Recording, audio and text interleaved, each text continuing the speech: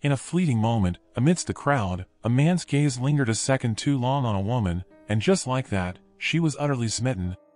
Brazenly, in full public view, she left a hickey on his neck.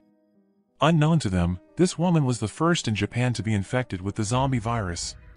In mere days, the virus spread nationwide. For years later, Tokyo has turned into a ghost town. Beneath the city lay the Japanese division of the Umbrella Corporation. Two soldiers stood guard outside, unaware that they were about to be ambushed by unknown assailants. Wesker, a top executive of Umbrella, sensed something amiss and immediately dispatched troops to guard the base's elevator. But when the elevator doors slid open, it was empty. Little did they know, the enemy had already infiltrated the base through the ventilation shafts. Enter Alice, having made her way from North America to Tokyo. Just as the soldiers sensed danger, they were met with a trio of darts, taking several of them down instantly. Drawing her twin blades, Alice plunged into the fray, slicing through them with the ferocity of the Grim Reaper, leaving a trail of severed limbs in her wake. Before many could even react, more than half had fallen. Finally, three soldiers responded, unleashing a barrage of bullets on Alice, but not a single one struck her. Alice swiftly took cover and, using a corpse as a shield, decimated them with a hail of bullets, leaving them riddled with holes. The last remaining soldier tried to put up a fight, brandishing two guns and firing wildly. Alice, with impressive agility, executed a wall run, spinning 360 degrees in midair to evade the barrage of bullets. As she landed, she hurled her katana. Having just taken out one squad, she turned around to find another ready for combat. Not wanting to waste time, Alice unleashed her ultimate move, a devastating attack. It's hard to believe that such an overpowering force was just one of Alice's clones and there were enough of these clones to form an army. Soon, Alice's clones infiltrated every corner of the base. Wesker realized the dire situation and decided to abandon the base. He boarded a helicopter, activating the base's self-destruction sequence as he left. Within moments, the entire base was obliterated. Unbeknownst to Wesker, the real Alice had been on the aircraft all along. Quietly, she approached him, gun aimed at his head. However, Wesker had a trick up his sleeve too. He swiftly injected Alice with a newly developed serum. This serum neutralized the T-virus in Alice's body, stripping her of all her special abilities. Weakened, Alice was no match for Wesker and was quickly overpowered. But just as Wesker was about to deliver the killing blow, an alarm blared, signaling the impending crash of the aircraft. Turning to look, Wesker saw the unmanned plane rapidly descending towards a mountain, by some miracle, Alice survived. A few months later, she flew to Alaska, intending to rendezvous with Claire and others. Upon arriving, she found the place deserted, with countless planes grounded. It seemed the broadcasted sanctuary was a lie. Where had all the survivors gone?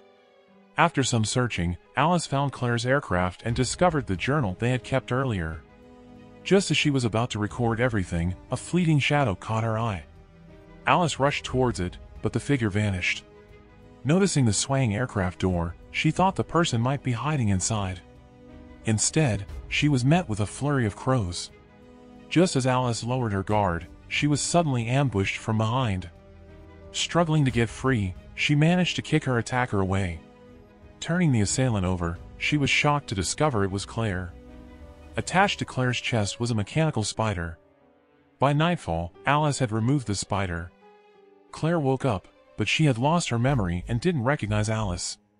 It appeared that the mechanical spider had something to do with her amnesia. With no other choice, Alice piloted the plane in search of survivors, hoping Claire's memory would return. The two traveled from Alaska to Los Angeles. The city was desolate, not only were there no survivors, but even zombies were scarce. Just as Alice planned to move to the next city, she saw a massive horde of zombies surrounding a prison. On closer inspection, she noticed a few survivors on the prison roof. The sight of Alice's plane seemed like a lifeline to the survivors. However, upon circling the prison, Alice realized the grounds were swarming with zombies, making it impossible to access from below. Bravely, she decided to land on the roof. Understanding her intentions, the survivors cleared a makeshift runway. With a swift descent, Alice managed to land on the roof. Despite using power lines to slow the plane, the short runway resulted in the plane crashing into the prison's wall. As the plane teetered on the edge of a massive drop, basketball star Luther leapt into action. With help from the others, they pulled the plane back from the brink. After introductions, the survivors asked if Alice had come to rescue them. They too had heard the broadcast about the Alaskan sanctuary. Alice revealed the safe haven in Alaska was actually a moving ship that was gathering survivors along the coastline. They decided to head to the ship, but the prison was surrounded by zombies. Using the plane was risky since it could only carry two people at a time. And even if multiple trips were feasible, safe landings were not guaranteed. Luther later led Alice to a bathroom for a shower. But shortly after he left, Alice heard suspicious noises. Cautiously approaching with her revolver drawn, she found a bald man trying to peep on her. Enraged, she told him to leave. But the man's face suddenly turned to terror, not because of Alice, but due to a zombie behind her. Quick to react, Alice shot the zombie dead. The peeping man wasn't as fortunate, as another zombie grabbed him and dragged him into a tunnel. The group investigated and discovered zombies were burrowing into the prison. Their supposed safe haven was no longer secure. They had to find a way out, and fast. Desperate for a way out, Alice learned that there was a prisoner within the jail who knew an escape route. However, releasing him meant taking a risk. Despite everyone's apprehensions about the danger this inmate could pose, Alice made the decision to free him. To everyone's surprise, the first person he noticed upon his release was Claire. He was Claire's older brother, Chris. But due to her amnesia, Claire didn't recognize him. Their reunion was interrupted by the approach of a massive creature wielding a giant axe. Chris quickly formulated a plan. He revealed that behind a steel door, there was an armored vehicle capable of carrying everyone out of the prison, and a weapons armory full of various firearms and ammunition. Suddenly, a massive thud echoed throughout the prison, the executioner, a huge beast with its massive axe, was trying to break in. Realizing the urgency, the group split up. Alice and Chris headed to the flooded armory, Claire and Luther defended the main entrance to buy time, while the rest worked to retrieve the armored vehicle from behind the steel door. Upon reaching the armory's entrance, Alice and Chris were ambushed by a waterlogged zombie, which dragged another member of their team underwater. To their horror, they realized these zombies could not only burrow but also swim. After battling several of them, they finally reached the armory and were awestruck by the array of weapons. Alice's eyes gleamed with anticipation. Meanwhile, the steel door was successfully opened, but there was bad news. The engine for the armored vehicle was located externally, and repairs would take at least a week. One of the survivors, a curly-haired man, reacted to this news by shooting one of his companions. He decided to escape on Alice's plane. The prison's main gate couldn't withstand the executioner's relentless assault. With the gate destroyed, a horde of zombies, led by the executioner, poured in. Claire and Luther fled to the rooftop, only to find the curly-haired man already aboard the plane. As Alice joined them on the roof, the traitorous man shot at them and then flew away in the aircraft. With the plane out of reach, the survivors had to face the approaching horde of zombies on the rooftop. They fought back fiercely, firing their weapons while retreating towards the elevator shaft. However, with the elevator non-functional, Alice had to improvise. She led the group to the shaft and directed them to head down, using the standing water in the shaft as a buffer. After ensuring everyone was in, Alice threw down a bomb from the top, causing a massive explosion that cleared their path downwards. Alice, however, faced the oncoming swarm on the rooftop head-on, she quickly tied an electric cable around herself. As the zombies closed in, she threw down another explosive device and, using the cable, leaped off the tall building. The pursuing zombies, unable to stop in time, plummeted down after her. The explosive detonated in midair, taking out a significant number of the undead. Before hitting the ground, Alice detached herself from the cable, landing gracefully amidst the wreckage and immediately made her way through the remaining zombies. With Luther's assistance, she rejoined the group. Their only viable option was to follow the tunnel dug by the zombies, which led to the sewage system, and from there, to the open sea. Chris took the lead, closely followed by Luther. But the young Asian boy hesitated. Out of nowhere, the executioner's giant axe cleaved him in half.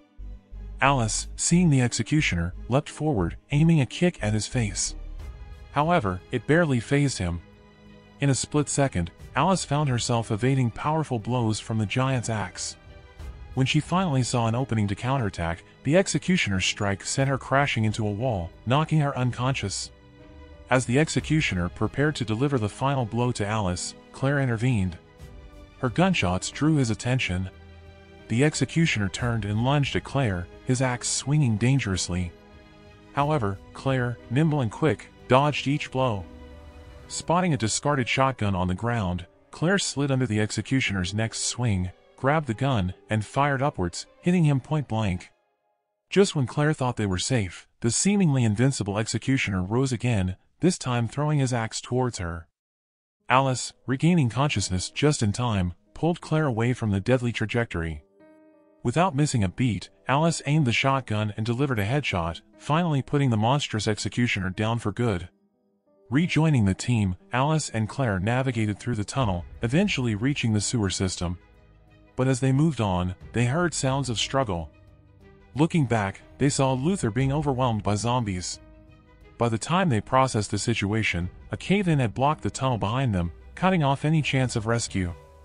Resigned to their situation, the remaining trio, Alice, Chris, and Claire, continued their journey. They stumbled upon a small boat and decided to head toward a massive ship they spotted in the distance. Once they boarded the ship, they found it eerily deserted, except for a helicopter piloted by a curly-haired man approaching the ship. They navigated to the ship's control room, only to find it empty as well, even though the equipment was functioning properly. A computer screen displayed thousands of survivors. Where could they possibly be? While searching the ship, the trio discovered a massive steel door with the emblem of the Umbrella Corporation. A rush of memories flooded Claire, reminding her of their arrival in Alaska. Upon landing, they were ambushed by armed personnel on speedboats who forcibly abducted them using spider-like machines, leaving Claire as the sole escapee. Realizing this was another one of Umbrella Corporation's traps, they cautiously approached the door. As they did, it opened automatically. They ventured inside and found themselves in a brightly lit, large chamber. Claire located a control panel revealing that the survivors were being used as subjects for experimentation and were being held in chambers below them. Quickly, they opened all the chambers, reuniting with their previously abducted companions. However, Alice noticed a few chambers stained with blood. Following the trail, she found another chamber filled with Umbrella Corporation helicopters and a self-destruct system identical to the one in the Tokyo base. As she ventured further in, desiccated corpses appeared before her. An ascending monitor screen then revealed Albert Wesker. It turned out that after the plane crash, Wesker had used the T-virus to resurrect himself. Suddenly, two zombified dogs appeared.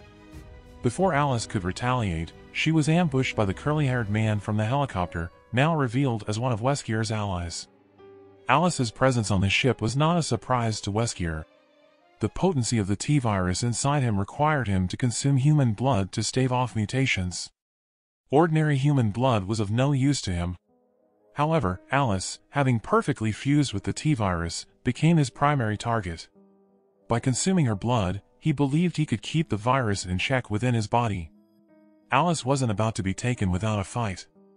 After deflecting Wesker's attack using nearby utensils and disarming the curly-haired man, she found herself cornered by the zombified dogs. Just in the nick of time, the Redfield siblings arrived, guns trained on Wesker, However, Wesker, enhanced by the T-Virus, was no easy opponent. His newfound abilities were unparalleled in speed and strength. Chris and Claire were swiftly defeated and locked away in one of the experimental chambers. On the other hand, Alice was locked in combat with the dogs. She managed to take out one with the shotgun she retrieved and cunningly used a shard of tempered glass to defeat the other. Just as she thought she had the upper hand, the curly-haired man sneaked up on her, stabbing her arm, Wesker saw this as his opportunity to feast on Alice. But, using the very dagger that was lodged in her arm, she managed to impale Wesker's head. Even that wasn't enough to take Wesker down for good. As he readied another attack on Alice, another survivor intervened, attacking the curly-haired man. Wesker, despite half his head being blown off, continued his onslaught. But with the combined efforts of Alice, the Redfield siblings, and the new survivor, they managed to subdue Wesker. On their way out, they locked the treacherous curly-haired man in with the seemingly incapacitated Wesker. However, the group soon heard screams from within the chamber. To their horror, Wesker was alive and had devoured the curly-haired man. He made his way to one of the helicopters, intending to escape, and once again triggered the ship's self-destruct system. But Alice was one step ahead this time. She had planted an explosive device on the helicopter. By the time Wesker realized, it was too late. Meanwhile, much to their relief, they found Luther, who they had believed to be dead, alive and well. As they and the many survivors made their way to the ship's deck, they planned to take over the ship and broadcast a message to rescue more survivors. But their relief was short-lived as they looked to the horizon, only to see countless helicopters bearing the emblem of the Umbrella Corporation advancing towards them,